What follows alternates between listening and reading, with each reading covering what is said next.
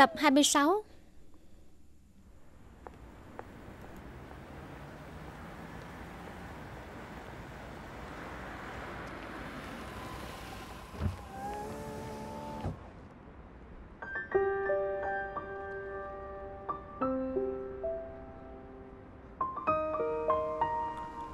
Anh Dương. Chào anh. Phải lúc trước tôi từng đồng ý giám đốc Mã Vì trước đó tôi và công ty Đức Nhuận Từng hợp tác vài lần Và khá tốt đẹp. Cho nên trong cùng điều kiện tôi chắc chắn sẽ ưu tiên cân nhắc với giám đốc Mã rồi. Về nước Cho nên vẫn chưa xem nội dung hợp đồng chi tiết Hay là hôm khác chúng ta bàn đi. Tất nhiên. Anh nghiên cứu bản hợp đồng này trước đi. Phải rồi vừa nãy cô đổ lập lạp của siêu cấp Liệp Anh tới chỗ tôi Tôi thấy lời của ấy nói cũng có lý. Cho nên tôi đã đồng ý miệng với cô ấy. Nếu họ có thể giúp tôi đàm phán được giá trị thích hợp Tôi sẽ chọn ký hợp đồng với họ. Nhưng mà anh Dương Anh cũng không cần lo lắng. Chuyện hợp đồng vẫn cho tôi làm chủ Cho nên tôi sẽ nghiên cứu cẩn thận cái này. Tôi cũng từng tiếp xúc với công ty siêu cấp Liệp Anh Nói thật lòng Họ khá chuyên nghiệp trong giới Với lại cũng rất có chữ tính. Cho nên nếu họ có đưa ra lời khuyên gì đó Tôi thấy anh có thể nghiêm túc cân nhắc Và đồng ý với bên họ cũng được. Anh Dương à Anh là con người thú vị thật. đấy. Siêu cấp Liệp Anh là đối thủ cạnh tranh các anh. Anh nói như vậy không sợ cuối cùng tôi sẽ giao quyền đại lý hợp đồng cho họ Mà từ bỏ hợp tác với công ty các anh sao? Đương nhiên rồi. Tôi đến đàm phán giúp giám đốc Mã Để anh có thể hợp tác với tập đoàn Đức Nhuận. Có điều nghĩ theo cách khác thì Nếu tôi là anh Tôi cũng hy vọng có thể giành được cơ hội phát triển tốt hơn cho bản thân. Cho nên dù là Đức Nhuận hay siêu cấp Liệp Anh Bên nào có thể đưa ra lợi ích tốt hơn cho sự nghiệp của anh? Cho quy hoạch cuộc sống của anh. Thì tôi thấy đây mới là phương hướng anh nên áp dụng. Con người anh thực sự rất rộng lượng Tôi rất thích. có lẽ cũng chỉ còn lại sự rộng lượng thôi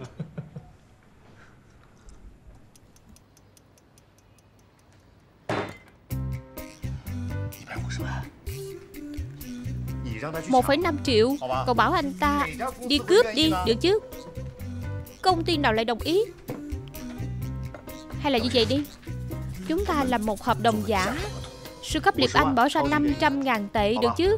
Chỉ để tạo dựng tiếng tâm thôi. Cậu nhìn tôi làm gì? Tôi nói cậu nghe bây giờ tôi nghèo đến mức chỉ có tiền. Chẳng sao hết.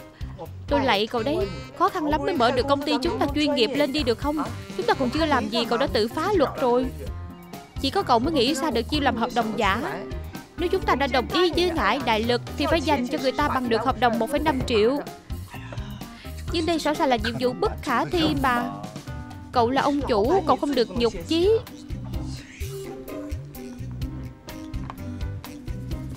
Sao Trần Dật chưa đến vậy? Đợi người ta à? Đợi Trần Dật sao? Hẹn hò với người ta à? Hẹn hò cái gì bàn công việc thôi. Chỉ vào giờ tăng ca nấy mới rảnh Thì tôi phải làm kế hoạch mà bảo anh ấy mua đồ vừa ăn vừa bàn. Hiểu hiểu ăn uống bàn việc Không khí phải tĩnh mịch. Có đúng vậy không? Tiểu Thiến Sao? Chị chưa tăng làm sao? Tôi còn gì phải làm. Còn làm việc? Tiền tăng ca đâu được bao nhiêu chứ? Đúng không? Đi thôi. Đi về. Tôi đưa cô về không cần đâu. Đi thôi tan làm đi, tôi mời cô đi ăn là được chứ gì? Được mà. Chị lặp Lạp à chị. Chị nhớ về sớm đấy. Đi thôi. Anh từ từ thôi. Gia Minh, Tôi thực sự có nhiều việc còn phải làm vẫn chưa làm xong. Đợi đã có việc gì mai hẳn nói, Không được. Bạn Tiểu Thiến à.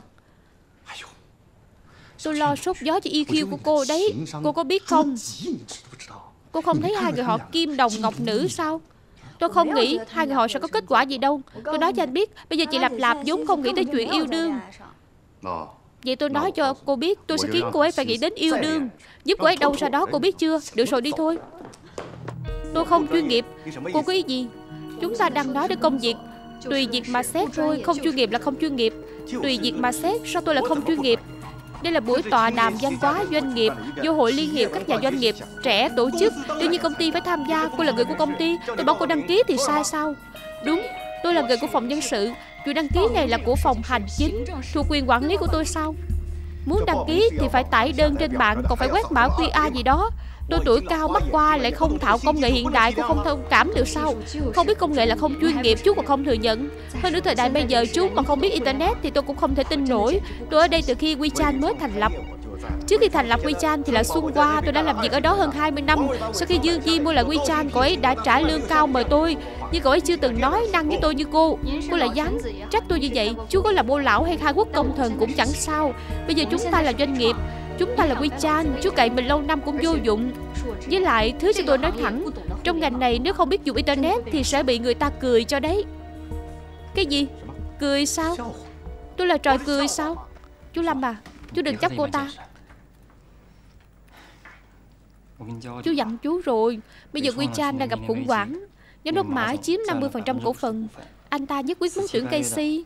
Cháu dành đại dĩ, vốn không muốn cô ta đến WeChat Tức chết tôi rồi. Chú đừng giận mà. Tức chết tôi rồi.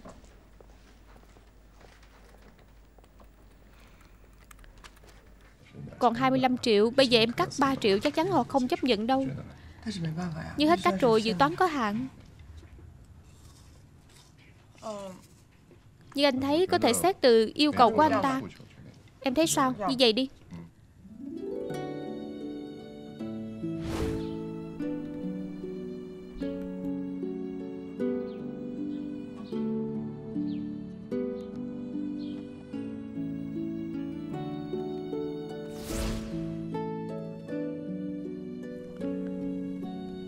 làm Lạp Em có thấy trạng thái làm việc khi nãy của chúng ta Cực kỳ giống thời đi học, Cùng nhau ôn bài, Dai kề dai không?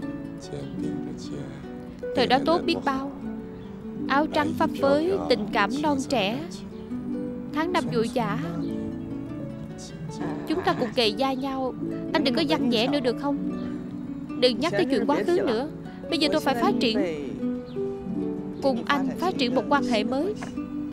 Quan hệ mới gì Một mối quan hệ rất thân thiết. Lặp lặp Cuối cùng em cũng nghĩ thông suốt rồi. Nói vậy là chúng ta có cùng suy nghĩ rồi. Đừng có đùa, tôi nói thật đấy. Anh cũng nói thật mà, em đừng có chơi anh. Anh đừng hiểu lầm. Quan hệ thân thiết mà tôi nói Không phải là người yêu. Là Đồng minh. Đồng minh. Đồng minh gì Liên minh báo thù gì?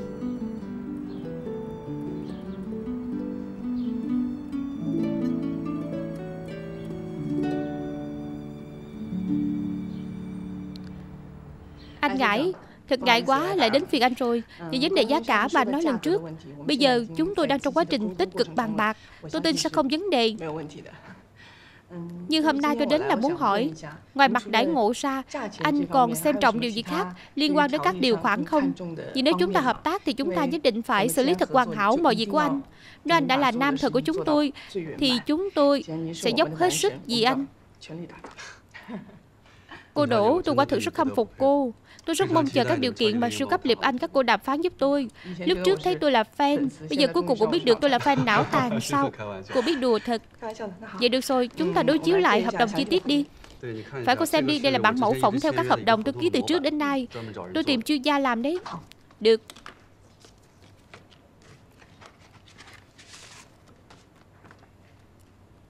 Điều khoản này cũng khá chi tiết đấy.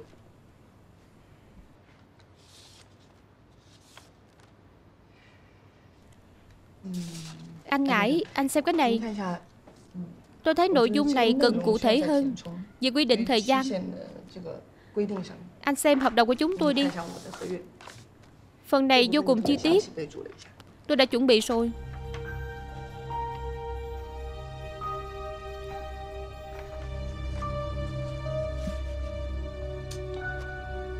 Một phẩy năm triệu sao? Mức giá này cao quá đi Tôi thừa nhận ngải đại lực là nhân tài hiếm có.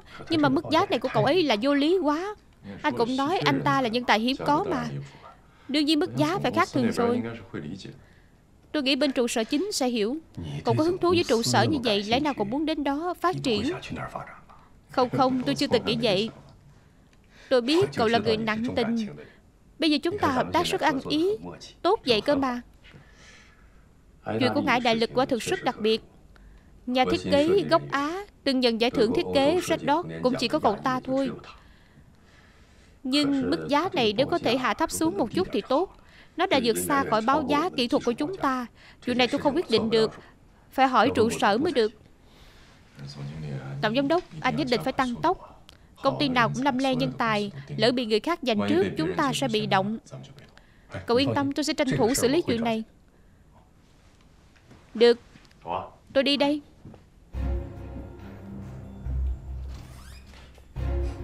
Trần Duật, ai mà chẳng biết cậu muốn đến trụ sở chính Cậu thì hay rồi, đến công ty chưa được bao lâu đã được công nhận Sắp ngang hàng với tôi luôn rồi Ngã đại lực là mấu chốt của công ty Tôi cứ cản trở cậu thuận lợi ký kết với người ta đấy Trì hoãn thêm một thời gian nữa rồi tính Trong toàn bộ quy trình tiếp theo Xin lỗi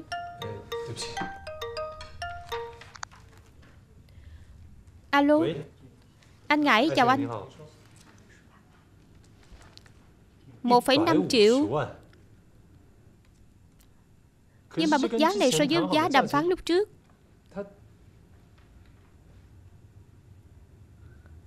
Vậy sao? Được tôi biết rồi. Như vậy đi. Tôi sẽ bàn với giám đốc mã Rồi nhanh chóng trả lời anh. Được chứ? Được cảm ơn Anh đại dĩ Ngài đại lực Nâng giá lên 1,5 triệu. Tăng 50% chuyện gì vậy? Anh ta mời siêu cấp Liệp Anh đại lý hợp đồng của mình Rồi nói SH bằng lòng trả giá này. SH Hay là em tìm người đi nghe ngóng xem sao? Chị Casey Chị bị công ty SH đuổi gì? Còn gì Chị còn có thể quay về do thám tình hình sao Không phải tôi bị đuổi. Tôi tự từ chức hiểu chưa? Được rồi được rồi. Vừa nãy nói đến phần trải nghiệm người dùng. Tôi đã nói cho cô biết tình hình. Nghe nói các cô cũng đang giúp Đức Nhuận lôi kéo cậu ta. Thằng nhóc Trần Dật không ngại bỏ đống tiền mời cho bằng được ngại đại lực. Cũng chẳng mấy có công ty ở Thượng Hải mời được nổi cậu ta. Casey, cô là người thông minh. Thương trường không có bằng bè vĩnh viễn Chỉ có lợi ích mãi mãi. Hơn nữa Chút hiểu lầm của chúng ta cũng chẳng là gì. Cô cũng thấy đấy Tình hình hôm đó như vậy Tôi có thể làm gì chứ? Tổng giám đốc Anh nói ngắn gọn đi. Hôm nay anh gọi tôi đến Nói cho tôi biết bí mật thương mại quan trọng như vậy. Anh muốn nói gì thì nói thẳng đi Chúng ta vẫn là bạn Cùng chia sẻ lợi ích không phải rất tốt sao? Hôm nay tôi nói với cô Tôi không muốn trần giật Nhanh chóng tiếp quản công ty chi nhánh Thượng Hải. Cậu ta mới đến SH được bao lâu chứ? Dựa vào chút lý lịch đó của cậu ta Mà muốn lên làm tổng giám đốc công ty chi nhánh Thượng Hải. Tôi sẽ kéo dài chuyện hợp đồng với ngải đại lực. Nhưng mà tôi cũng không kéo dài được bao lâu đâu. Bên các cô phải tranh thủ thời cơ Nhanh chóng lôi kéo được ngải đại lực Vậy Giá thấp nhất các anh có thể trả cho ngải đại lực Là bao nhiêu?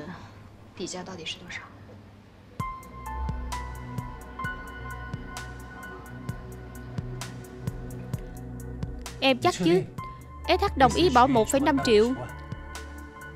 Tình báo này từ đâu ra vậy? Bây giờ em vẫn chưa tiện tiết lộ nguồn tình báo. Đây là tin tức mà đồng nghiệp cũ SH của em dò la được. Chắc chắn có thể tin tưởng Bây giờ là như vậy SH đã quyết định ký với ngải đại lực rồi Vì họ là công ty lớn nên cần trụ sở xét duyệt Nếu ký thật thì cần khoảng 2 tuần Chúng ta có thể lợi dụng trong hai tuần này đề xuất mức giá tương tự như họ. Nếu có thể quyết định sớm thì có thể ký được với ngải đại lực. Anh hiểu ý của em. Nhưng mức giá này đã vượt xa dự toán ban đầu mà giám đốc mã cho chúng ta. Anh liên lạc với giám đốc mã đã. Chúng ta cố gắng ký với ngải đại lực trong hai tuần này.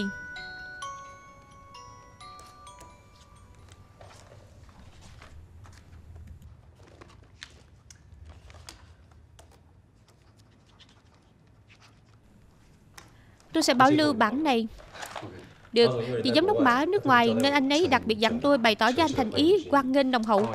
Cảm ơn giám đốc mã giúp tôi nhé. Đây là sách tiền cọc. 30% hợp đồng anh giữ nhé. Vậy mời anh đến công ty đúng giờ để báo danh nhé. Nếu không còn chuyện gì tôi đi trước đây. Được, vậy chúng ta gặp ở công ty. Được, tạm biệt. Tạm biệt. Lạp Lạp. Cảm ơn cô trong suốt thời gian qua đã hết mình giải quyết những chi tiết này giúp cô. Thực sự vô cùng cảm ơn. Không có gì.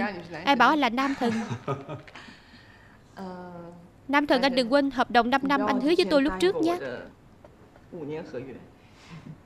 Những năm thứ nhất Chúng tôi đã bán anh cho Đức Ngượng với giá cao. 4 năm tiếp theo phải làm sao đây? Cũng đâu thể giao kèo qua miệng Không được. Nhất định phải thực hiện trên giấy tờ.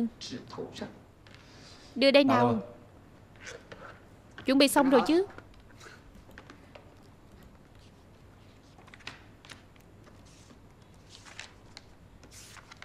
Phục vụ chu đáo chứ Được rồi Khế ước bán thân 4 năm tới Giao cho cô đấy. Đã nhận khế ước bán thân. 1,5 triệu đấy. Lạp lạp Sao cậu làm được vậy? Cậu khiến ông trời cũng phải cảm động. Cậu biết không Thương trường cũng chấn động luôn. Các bạn vỗ tay đi nào. Lạp lạp, cậu giỏi quá. Tôi thực sự không ngờ trong chốc lát cậu có thể nâng giá của ngải đại lực lên 1,5 triệu. Cậu biết không, thế nào cậu muốn gì? Tôi đều có thể cho cậu được hết đây không phải công lao một mình tôi. Muốn cảm ơn thì cảm ơn Trần Giật Phải lão Trần sao lại không nghĩ đến? Lão Trần hai cậu bắt tay mới thành công. Cậu ấy y như gián điệp hai mặt. Đỉnh quá đi. Như vậy thì có khi nào cậu ấy không ở lại SH được không?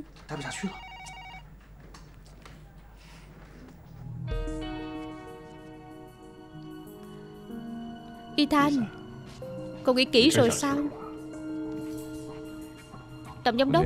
Tôi rất cảm ơn thời gian qua SH đã chỉ bảo tôi. Nhưng vì một vài nguyên nhân, Cá nhân, Tôi hy vọng có thể điều chỉnh công việc. Cậu nói nhẹ nhàng, Nhưng tôi cứ cảm thấy cậu từ chức Có liên quan đến hợp đồng của ngải đại lực. Cũng có một chút. Tôi không ký được với ngải đại lực gây thiệt hại cho công ty. Tôi rất tiếc. Nhưng điều này đâu có thiệt cho cậu. Hoặc là nói tất cả Đều thuộc kế hoạch của cậu. Anh đánh giá tôi cao rồi. Mọi thứ của SH không phải đều nằm trong kế hoạch của anh sao? Được rồi. Sau để SH không có tôi gây phiền phức cho anh nữa. Tôi nghĩ anh có thể dẫn SH đến kỳ quy hoàng mới. Chúc anh mọi điều tốt đẹp. Mọi điều thuận lợi. Tạm biệt. Tạm biệt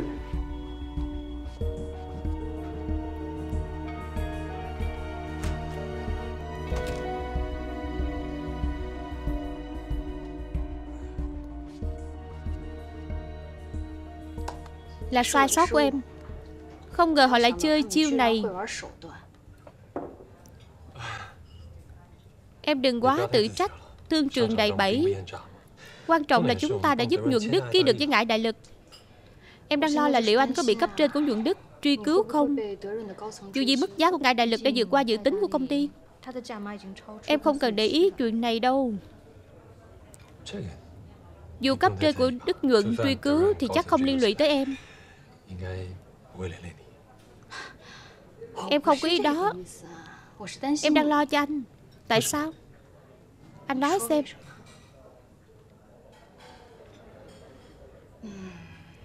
Chị Lạp Lạp cũng giỏi thật. Chế lợi dụng đức nhuận để nâng giá trị của giúp ngải đại lực nhận được mức giá cao như vậy.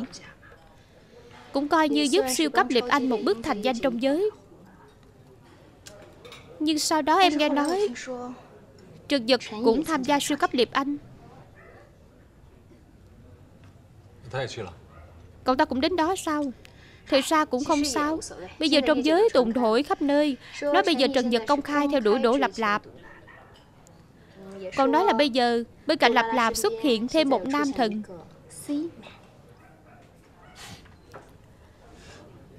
Trong giờ nghỉ nghiêm cấm tám nhảm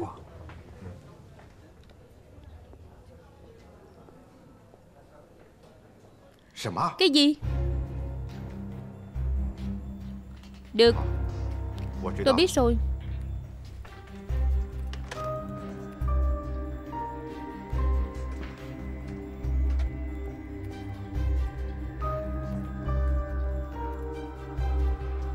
Casey. Hội Liên hiệp Thanh niên nói cô gọi điện thoại bảo họ là cô nói sau này chuyện của Quy Chan đều sẽ do cô liên lạc với họ đúng không? Đúng vậy. Chú không biết tải đơn điền còn gì Tôi tải xuống làm rồi đây Máy tính thì có thể học. Cô không thể không nói gì hết. Đã giành lấy công việc của tôi chứ. Là chú nói mà Tôi là nhân sự tôi nên phụ trách công việc này. Đúng chứ? Tôi không quan tâm chú nói vô trách nhiệm với công việc. Tôi quan tâm chú nói tôi không tôn trọng chú Chú cũng làm khó tôi quá rồi Cô tự nói tự làm còn bảo tôi làm khó cô. Chú không làm khó tôi chắc Vậy chú muốn tôi làm sao? Tôi phải lo hay không lo đây? Chú tải đơn giống gì chú. Chú Lâm chú Lâm, cháu bảo này, Công việc là như vậy mà. Cô ta như vậy. Uống chén trà đi, Uống chén trà bớt giận nào. Cách biệt thế hệ. Các bạn, Chúng ta hãy cùng quan hô. Vỗ tay nhảy nhót chào mừng sự gia nhập của Lão Trần. Cảm ơn mọi người. Lão Trần có vui không? Lão Đồng Chú ý từ ngữ. Từ lão là độc quyền của cậu. Nó vẫn là trai trẻ. Phải phải, trai trẻ. Cậu vẫn còn trẻ, đúng chứ? Vì còn trẻ, tình yêu là chuyện của người trẻ tuổi. Tôi hiểu mà. Tiểu Thiến Tiểu Thiến Sao chứ? Chúng ta cùng chúc ước muốn của Trần Vật thành hiện thực. Trời cũng tác thành không vấn đề. Chị Lạp Lạp, em muốn ăn pizza, Chị muốn ăn không? Ăn chứ, chúng ta đi thôi.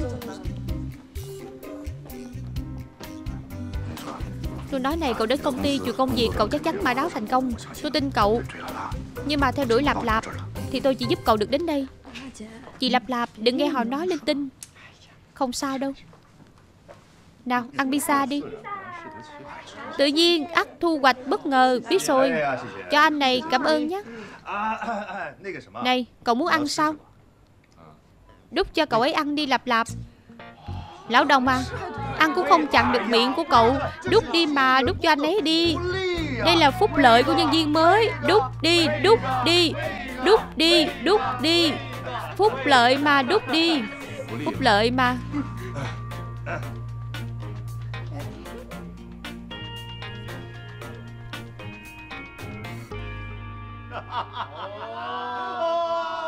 Ngọt ngào quá có phải không?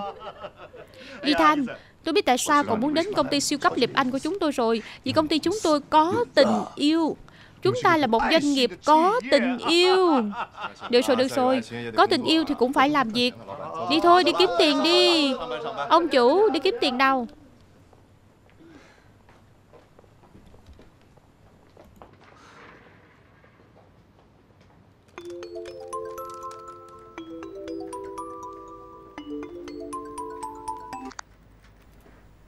Alo mẹ.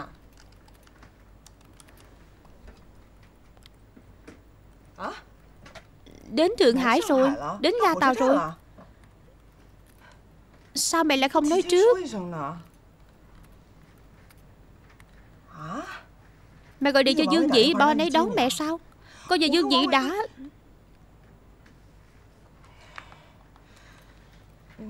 Được rồi mẹ đợi con con đến ngay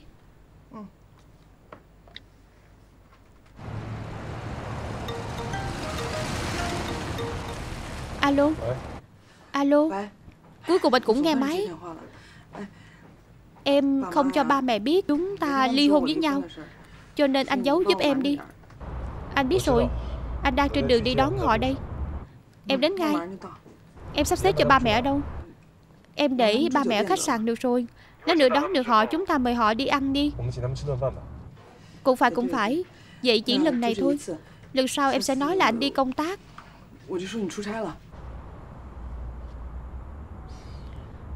Sau này hắn nói đi?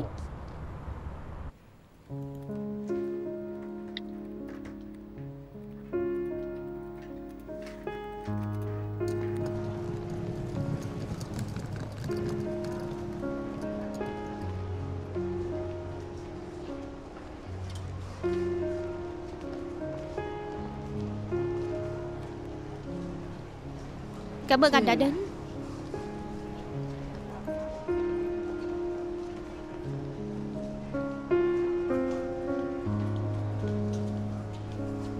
Dạo này khỏe chứ? Khỏe lắm.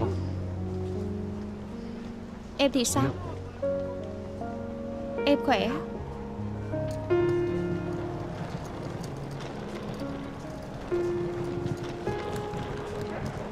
Ba mẹ. Lặp lạp tiểu dĩ. Để con để con. Con xem tiểu dĩ hiểu chuyện chưa này? Ba, mẹ. Sao ba mẹ không nói gì đã đến vậy? Ba con đến đây dự họp. Mẹ thì vừa nhớ con gái con rể Nên cùng đến luôn. Lạp lạp, con làm sao vậy? Sao cứ cảm giác con cứ Tiều tụy làm sao ấy? Dư dĩ, Chắc chắn là con không chăm sóc tốt con gái của mẹ. Không phải đâu mẹ à. Con xin lỗi. Dạo này đúng là con hơi bận việc. Nên chắc là lơ là cảm xúc của Lạp Lạp. Xem thằng bé kìa. Mẹ con chỉ đùa thôi. Dạo này mẹ con còn tự học làm thức ăn điều dưỡng đấy. Khi nào về bà ấy nấu món ngon cho các con. Đúng vậy. Con và Dương Dĩ bàn rồi. Lần này ba mẹ đến ở lại khách sạn sẽ tốt hơn. Vì mẹ của Dương Dĩ ở nhà Nên là đông người chật chội. Không không là vì Khách sạn đó hợp tác lâu năm với công ty con Có giá hợp đồng rẻ lắm. Với lại ở đó cũng rất rộng rãi. Vậy được. Con rể sắp xếp như thế nào Thì chúng ta nghe theo nó thôi. Được được tôi đồng ý. Nhưng mà ba mẹ phải đi thăm mẹ con đã. Thăm mẹ chồng con là phép tắc không thể thiếu. à, Không cần đâu. Không cần đâu. Phiền phức lắm Sao lại phiền phức? Mẹ còn mang hải sâm thượng hạng cho mẹ của con này. Đây là tấm lòng của ba mẹ. Ba mẹ. Mấy hôm nay mẹ đấy không có ở nhà. Không ở nhà, Sao vừa nãy con nói mẹ nó ở nhà? Ba mẹ đến ở không tiện. Sao bây giờ lại nói không ở nhà? Rốt cuộc là có ở nhà hay không? Ý lặp lặp là vì dạo này mẹ con làm giáo viên ở lớp nấu ăn trong khu chung cư, Nên ban ngày không ở nhà. Nhưng mà dạo này sắp kết thúc khóa học, Nên mẹ thường về rất muộn. Con sợ làm phiền ba mẹ nghỉ ngơi. Được rồi Lặp lại em xem nói chuyện dụng về. Con xem dương dĩ người ta giải thích rõ ràng hẳn ra. Được rồi, hôm nay ở khách sạn vậy. Được được được. Ba mẹ chúng ta đi ăn đi. Được được, đi ăn. Canh ý dĩ Bún cây dương sĩ. Xin hỏi cần cần gì nữa không? Muốn ăn gì? Đều được Ăn cá mè đi. Phiền cho một suất cá mè hấp. Dân cá mè hấp. Còn cần gì nữa không? Cảm ơn. Nhìn vợ chồng hai đứa tương kính như tân. Đúng vậy tiểu dĩ con đừng chịu lạp lạp nhà mẹ quá. Con mà chịu hư lạp lạp Nó sẽ trở nên bướng bỉnh. Đến lúc đó con không dễ sống đâu. Bình thường là cô ấy bao dung con, Là con không biết trân trọng. Lạp lạp Bây giờ chỉ có chúng ta và tiểu dĩ. Mẹ nói vài câu nhé. Mẹ nói đi. Chuyện mang thai. Con phải nghiêm túc coi trọng, Từ từ điều dưỡng sức khỏe. Con phải hiểu cho tiểu dĩ hơn. Tiểu dĩ bị mẹ nó gây áp lực quá. Hy vọng con thông cảm cho nó. Mẹ, Con thấy chuyện này vẫn nên coi trọng sức khỏe Và ý kiến của Lạp Lạp. Không cần phải nghĩ đến mẹ con đâu. Con sẽ nói với bà ấy.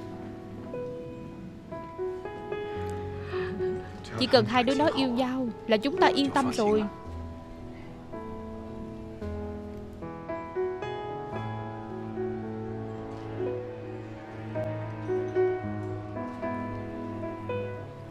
Mẹ, ba mẹ ăn đi.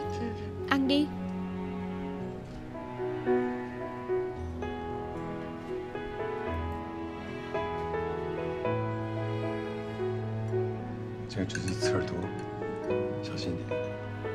Xương Cẩn thận nhé. Cảm ơn ông xã. Ông xem vợ chồng hai đứa nó kết hôn lâu như vậy rồi, Mà vẫn như mới cưới. Đúng vậy. Chỉ cần tình cảm hai đứa nó tốt Là chúng ta yên tâm rồi. Tiểu dĩ, Có con chăm sóc cho Lạp Lạp, Ba mẹ yên tâm rồi. Mẹ mẹ mau ăn đi.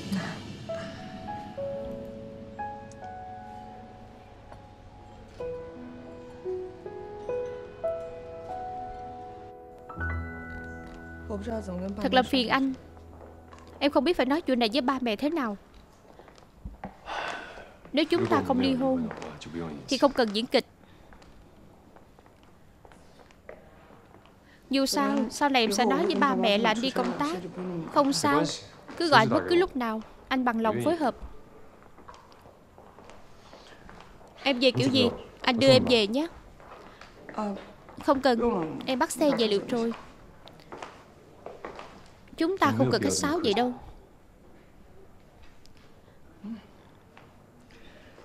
Em thấy khách sáo vẫn hơn. Vậy là Bây giờ Chúng ta không phải bạn bè sao? Chuyện của ngài đại lực. Em đối xử với anh như vậy sao? Đó là công việc. Em xin lỗi Em phải tôn trọng việc công. Vậy nên Chúng ta chỉ có quan hệ công việc. Không thì sao?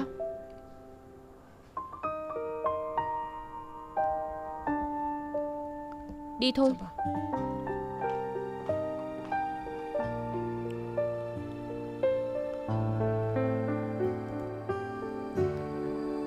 Biết rồi. Tôi biết rồi, cô đừng chỉ biết rồi. Năm nay anh bao nhiêu tuổi vậy Tiểu Trương? Đang gì thì à Tôi kết thúc khóa học rồi Càm nhàm hết chuyện này chuyện khác. Nói mãi không thôi. Được rồi Chỉ là kết thúc khóa học nấu ăn thôi mà Tôi tập lâu lắm đấy. Ngày mai tôi đến khu đô thị dự họp Học xong tôi qua đó. Cô nói rồi đấy nhé Hai chúng ta giao hẹn rồi. Được rồi đừng càm nhàm nữa. Trương Tư Nguyên làm sao vậy Thật là trẻ con. Chỉ là buổi kết thúc khóa học nấu ăn thôi Mà cũng coi như chuyện lớn trong đời. Đàn ông hàng hẹp.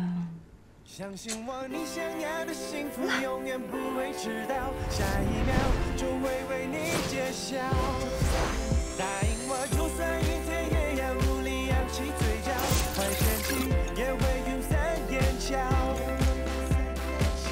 电话交个朋友，晒孤单和忧愁，别让乌云占据你的心，把烦恼赶走，当我心情打扫干净，天空就。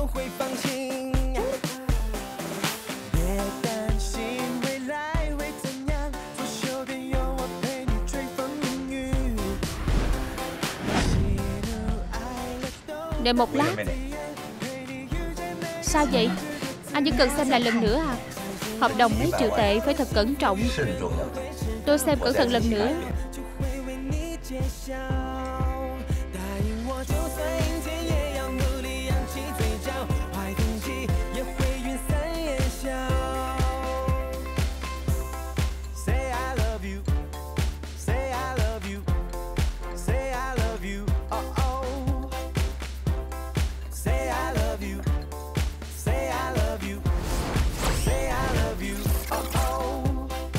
Seems like forever, but it's only a minute. You got powers to control time limit. I ain't complaining, baby, I'm just excited. Cause all I wanna do is have you right here beside me.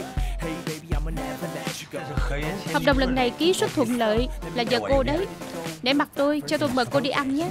Thật ngại quá, hôm nay tôi có hẹn. Hôm khác tôi mời anh đi ăn, tôi đi trước nhé. Cô Dương à, cô Dương.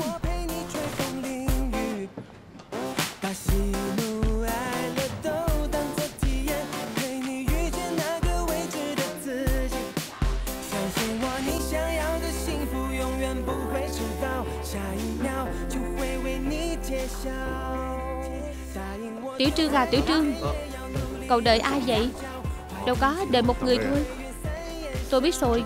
Hôm nay là buổi kết thúc khóa học nấu ăn của chúng ta. Cậu muốn mời người nhà của mình Đến nếm thử thành quả học tập của mình. Dạ đâu, Ba mẹ cháu để ở nước ngoài Cho gọi một người bạn đến thôi. Tôi biết rồi. Là cô gái mà lần trước cậu nói cậu vì người ta mà đến đây học nấu ăn sao? Phải, là cô ấy. Quan Ngân quan Ngân Lát nữa đến thì giới thiệu cho tôi nhé. Tôi muốn xem cô ấy xứng với Tiểu Trương và chúng ta trông như thế nào. Được, không thành vấn đề. Bác đi làm việc đi. Được được được. Nào, chuyển hết sang bên này. Chuẩn bị xong chưa? Xong rồi.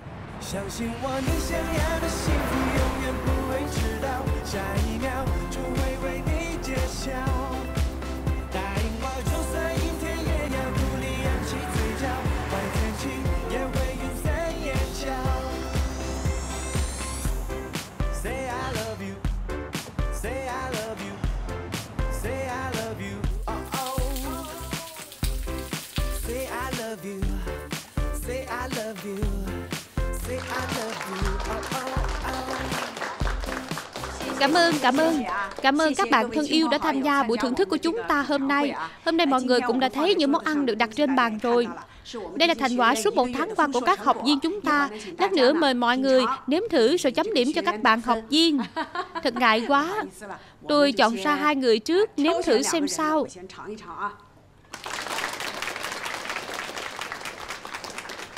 Tiểu Xuân làm Cô Lục, mùi vị thế nào? Ngon không? Ngon đấy, Được. Được, rất ngon. Chọn một món nữa nào.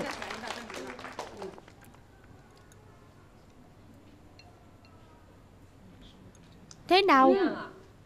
Cũng rất ngon, Được. Vừa nãy tôi chọn ngẫu nhiên hai thành phẩm của hai học viên nữ. Bây giờ tôi sẽ nếm thử thành quả của học viên nam duy nhất bạn Tiểu Trương. Tôi bận quá, không chú ý. Sao cô ấy lại có cái này? Là như vậy? Tôi đến lớp nấu ăn, mọi người cũng biết. Là vì một cô gái mình thích. Cô ấy cực kỳ thích ăn cái này, Nên tôi đặc biệt học làm há cảo thạch anh phụ dung cho cô ấy. Được. Được. Há cảo thạch anh. Làm xong thì làm xong như cô gái. Cậu thích vẫn chưa đến. Tôi, mẹ, mẹ đang tổ chức tiệc thưởng thức. Mẹ tổ chức tiệc thưởng thức ở đây con tìm mẹ có việc gì? Không phải con đến tìm mẹ.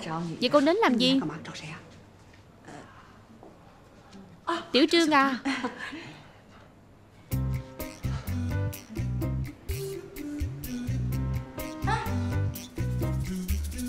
Lị Lị Cả tháng này cô hẹn tôi Tôi đều nói với cô Là tôi đi học không rảnh Thực ra cả tháng này tôi đều học làm cái này vì cô.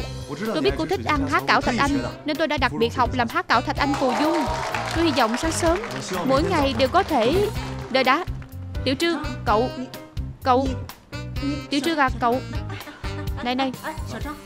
Cậu có chắc là người cậu đợi là nó không?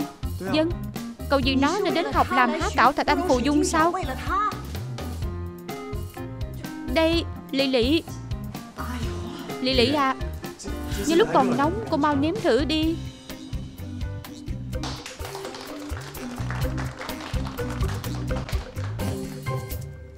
Casey, Cô cứ như vậy tôi chẳng thể làm việc nổi.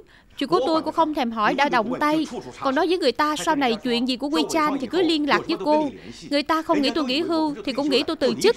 Cô, Tốc độ của chú bây giờ vô cùng ảnh hưởng công việc. Người khác sẽ tưởng Quy chúng ta thiếu chuyên nghiệp nếu tôi nói với chú, chú lại nói tôi can thiệp vào công việc của chú Cho nên mới nói bây giờ chú lớn tuổi rồi thì nên nghỉ ngơi nhiều hơn.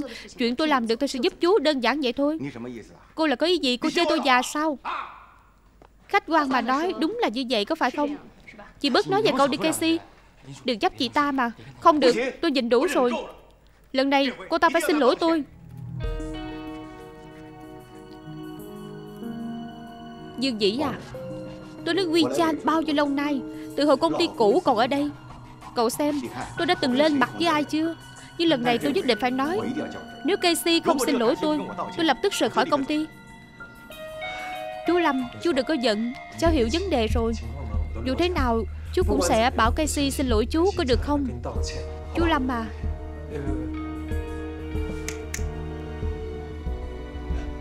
Chú đừng giận mà Đừng nóng giận Thật đấy Sếp Dương anh gọi em, Casey đâu Chị ta nói chị ta ra ngoài đến cục công thương xử lý việc, Thấy chưa? Là cô ta cố ý đấy. Từ trước tới giờ luôn là tôi liên lạc với cục công thương Từ khi nào đến lượt Casey lo liệu? Đúng vậy Đợi cô ấy về cho lập tức bảo cô ấy đến gặp chú. Chú cứ Được rồi, tiểu dĩ, tôi không chịu nổi nữa rồi.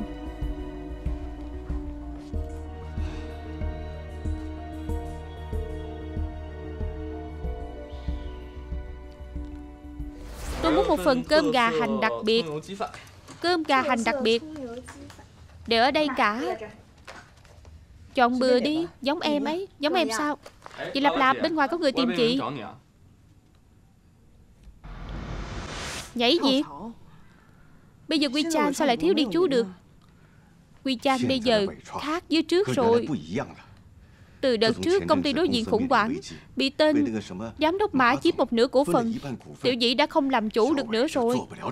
Khoan đã, khoan đã chú Lâm Chú nói khủng hoảng. Chuyện khi nào vậy? Thì đợt trước hai đứa ly hôn đấy. Dù sao tôi chẳng ưa nổi Quy Chan của bây giờ. Lạp lạp cô hiểu tôi mà. Tôi thấy con người tiểu dĩ tốt Nên mới luôn làm việc ở Quy Chan Nhưng bây giờ Casey vừa đến Tôi chẳng nhận được chút tôn trọng nào. Nhắc tới Casey là tôi lại tức. Cô nói xem Suốt cuộc cô ta chút bùn mê thuốc lú gì cho tiểu dĩ vậy? Chuyện gì quan trọng tiểu dĩ cũng giao cho cô ta. Cô ta cũng đâu phải bà chủ. Được rồi chú Lâm Chú bất giận đi. Cháu đi rót trà cho chú.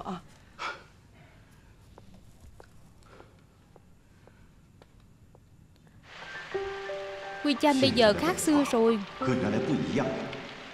từ đợt trước công ty gặp khủng hoảng, Bị tên giám đốc Mã chiếm một nửa cổ phần. Tiểu dĩ cũng chẳng làm chủ được nữa.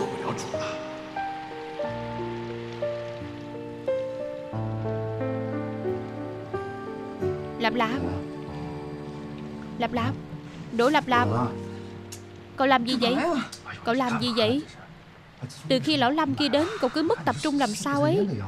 Có chuyện gì? Hay là như vậy? Cậu thấy đơn này hơi khó thì đừng có làm. Tôi bảo Tiểu Thiến Trần Vật làm. Nếu không được thì tôi làm. Cũng đâu chỉ biết ngồi chơi xe nước tôi làm được mà. Không phải vấn đề khó hay dễ. Sao vậy? Tôi ra ngoài một chút.